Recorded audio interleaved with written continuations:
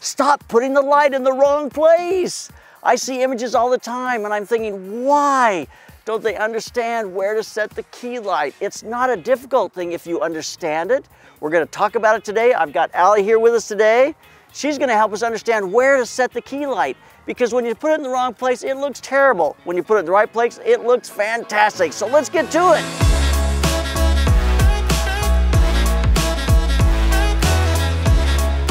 The concept that we're going to talk about today is shooting into the shadow side of the face, shadow side of the hands, shadow side of the legs, shooting into the shadow side. That's when you know you set your key light in the right position. Now we know the nose on the face tells us pretty much where we should set the key light with regards to the five portrait lighting positions. But now where we choose to shoot in that situation creates a huge difference. If we shoot into the broad side of the face, into the site that's lit, it's not as interesting. Now, there are great images done where you shoot into the broad side of the face. When you turn and you shoot into the shadow side of the face, you get a much more beautiful look at the person or the hands because you get these shadows that roll from the highlight in the back to the face in the front and you just get beautiful, beautiful images. So let's talk about setting the light so we can shoot into the shadow side of the face. So I'm gonna be using today the FJ80, the version 2. Uh, the reason I've chosen this is because it's a great platform. It's powerful, it's 80 watt seconds. It's really uh, portable, it's lightweight. Uh, using the switch plate on this bracket allows me to send it through modifiers so I can put any kind of softboxes on the front of it. Uh, the switch plate just uh, changes out the soft boxes on the front so I can either use this, which is a beauty dish, uh, 24 inch beauty dish. I pulled the beauty dish out of it so it's a little more directional, but uh, it allows me to put any size modifier on there with this bracket.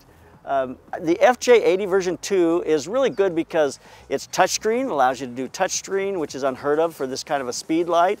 Also does really well in a situation where there's a lot of interference. It's uh, much better at that if you're doing events and those kinds of things. I will be shooting it with the trigger. Uh, the trigger allows me to trigger it and to be able to shoot uh, from anywhere I'm going to be working in this area, which now I'm using it as a strobe light, not an on-camera speed light which there are ways to use that on-camera speed light that really work well, but today we're gonna use it as a strobe light through a modifier. So let's get started and show how we can set this to illustrate the principle of shooting into the shadow side of the face. So I'm shooting with the 70 to 180 uh, 2.8 Tamron lens here today. Um, I love this longer lens for this kind of portraiture. I shoot on it a lot because it just lets the background fall way out of focus. The bokeh looks incredible, and so that's what I'll be using today. I'll be trying to shoot at 2.8 most of the time, pretty wide open. Uh, I may stop down a little bit. Uh, certainly there's enough power in the uh, FJ80 version 2 to be able to stop down just a little bit. So that's what I'll be shooting on today. I'm using the, uh, the Sony a7R5 and we get great images we can crop in with that large sensor. So there you have it, let's get to it. When you're setting a key light, the first principle is this. Most people want to just set this key light really close to the camera. You set it up, you start to shoot. If you can touch the key light, I guarantee you it's in the wrong place. If you can stand here with your camera taking your picture and you can touch the key light, it's in the wrong place. If the model can see over top of the key light, it is definitely in the wrong place. So this key light's gotta come up and it's gotta come way around. Now she turns into the key light. Now as I stand here, that key light, I can't touch it, it's back further.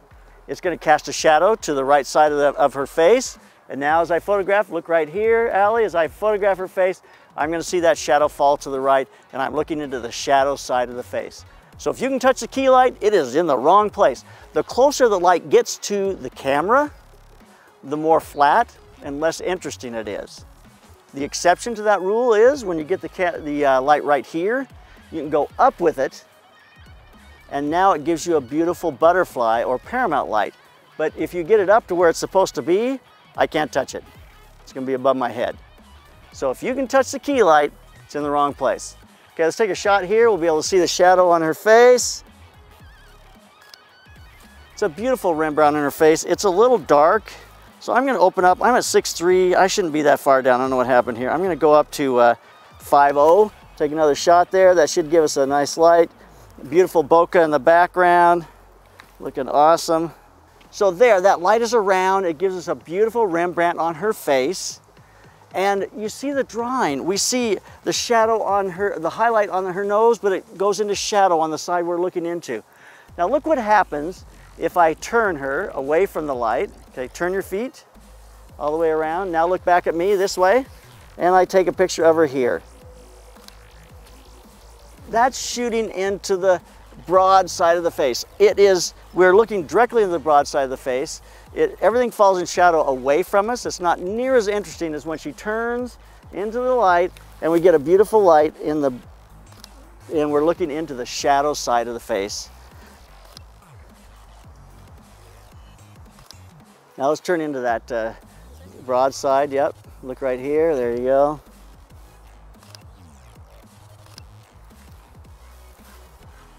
So when she turns away from the light and we're shooting into the broad side of the face, we don't get the beautiful highlight in her eyes. We don't get the way her eyes open up. The, just the face looks so much better when you're shooting into the shadow side of the face. So she turns back into it here. A couple of great shots there. There you go. Now I can put a reflector in here and just open up our shadows. I'll do that real quick. So I put a reflector in there just to open up her face a little bit, even though I'm shooting into the shadow side. Look right here.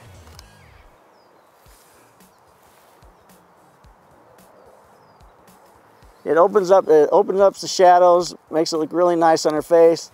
Back up just a hair.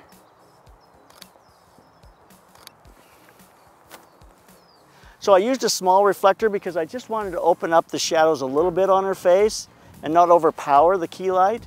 If I put a large reflector, that 50 inch up, uh, hard white, it's gonna give me a much larger bounce, much larger fill, and the ratios will be a lot closer together. I won't get as much shadow build. But with that small reflector, I get a beautiful shadow, but it's an open shadow, looks really pretty. So when we put that light in the right place from behind, it's gonna give us a beautiful light on her face. There'll be a little shadow that falls off from her nose, creates a Rembrandt on her face, and now we're looking into the shadow side. We see the transition of all the highlights. We see it on her nose, we see it on her lips, we see it on her forehead. It makes her head look more round and makes it look more three-dimensional. It falls onto the bust line, so the bust line is going to be more three-dimensional. It falls on her arm, so they're going to be more three-dimensional. It just gives us a beautiful highlight from the side that really is pretty. If she turns towards me, now we've lost all of that. We're looking into the highlight on her face. We don't get to enjoy all that transition that's going on away from us now. It doesn't show to the camera the face becomes flat because everything is lit from the front. So you got to turn her back into that light. Go ahead and turn in.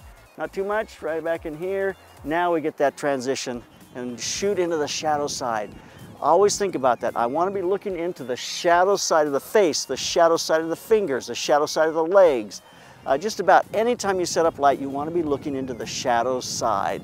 That's when you know you've set your light in the right place. I'm Yasi. I'm a touring music photographer. I was born and raised in Tehran, Iran, and nowadays I'm based in LA. So when when I was about 15 was the first time I learned that touring is a thing. I started to befriend some people in in bands and they would tell me about how they just get into a van every day and they drive to a different city and they put on a show every night and I was like that's that's it. That's what I want to do. I want to I want to document that. And so that that was just it. From then on, photo only. I'm working my dream job right now, and that's made possible entirely by cameras. So it's very, very important to me to protect my cameras everywhere I go. And I choose to protect my cameras with SKB cases. Don't be afraid to move your light. Just because you set it down is working, if she turns away from the light and you're in the broadside, move the light around. Change that light, move it and dress it to where your model is at. Don't be afraid of moving the light. This principle is really easy to see when you look at something like hands. Because you have fingers, the light's gonna hit and roll around the finger. It's gonna create definition. It's gonna create interest in the hands. The light is going to roll across the fingers down and across the fingers this way. So it won't be as efficient here as here. If I move it over here, it's gonna be great for this hand, but down the fingers there. So I'm trying to find a spot where it's going to give me dimension and light fall off on each of the hands. It just looks beautiful. You get these gorgeous highlights and they roll into shadow. It just looks so tasteful. I could bring a fill card in if I wanted to. I don't think it needs it, but it looks excellent. I mean, look at that. Just looks fabulous. So if I bring this light around, closer to the camera, I, I just lose. I mean, it's okay, but I lose most of that beautiful highlight rolling across the fingers. It's not near as pretty, not near as pretty. And if you can't see it, you need to learn to see it because the taste level of that light from the side, highlight rolling into shadow, is just, it's, it's so wonderful. When it comes up front here, it becomes so flat and so uninteresting, just doesn't have the same effect. Let's see what happens if I bring it to the other side, all the way around, and I lighter fingers from the other side. Now this should really roll across these fingers and more down this one, these. So let's see what that looks like.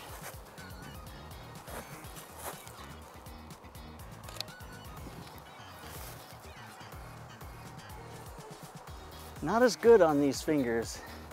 Great on these.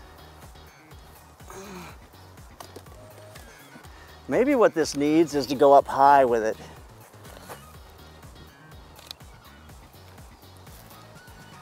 Well, that's starting to work.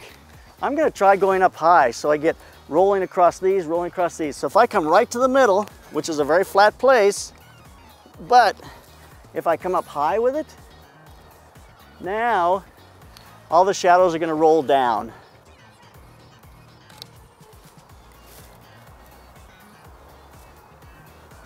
So when that light is up high, it's going to give us a highlight into a shadow. Then that shadow, the highlight of the next finger, you view it from the shadow side of this finger. So you get highlight to shadow, highlight to shadow, just looks fabulous. Same on these, highlight to shadow, highlight to shadow.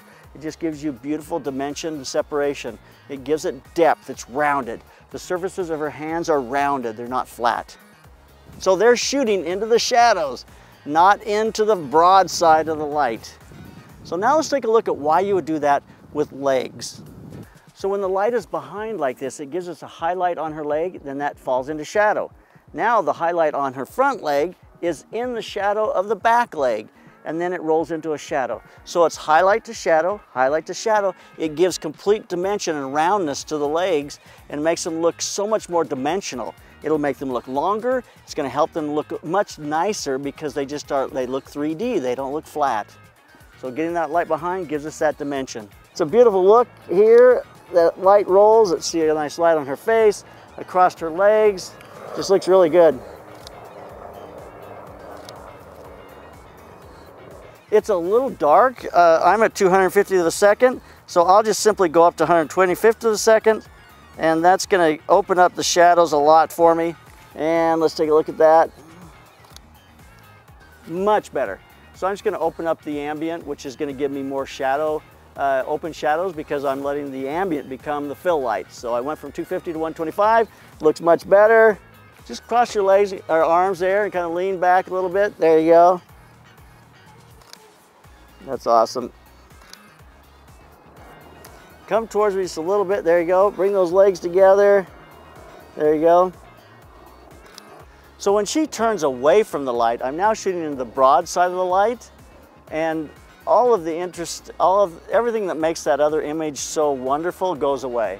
Um, I get an okay light on her face, but I'm looking into the highlight.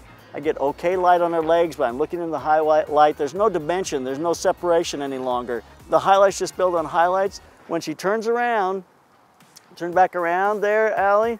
When she turns back around, now I'm gonna get that great dimension with the highlight into shadow. So shoot into that shadow side. Fingers, legs, face, shoot into the shadow side. Keep your light back so you're casting shadows towards the camera.